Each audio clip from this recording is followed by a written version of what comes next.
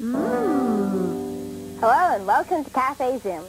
Lots of kids have sent in their recipes for their favorite sandwiches. Here is Darryl's Whoppa Supreme. Take two slices of bread and put them on a plate. On the first slice, add some mustard and some pickle relish.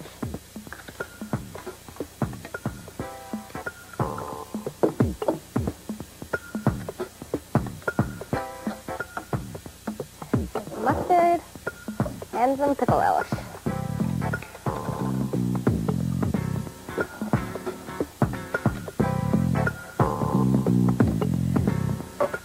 Then, add two slices of Swiss cheese.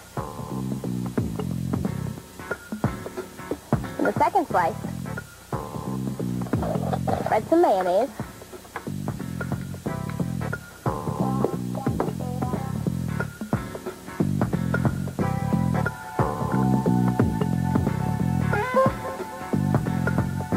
And some ketchup.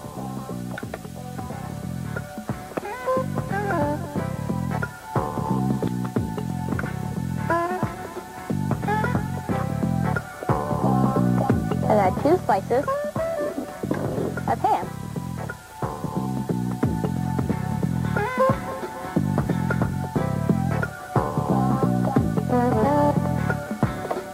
And here's Darryl's Whoppa Doppa Supreme.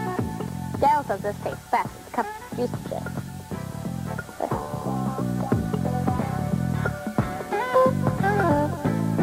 Mmm. Later, we're going to show you how to make Polly's Pocket Pita.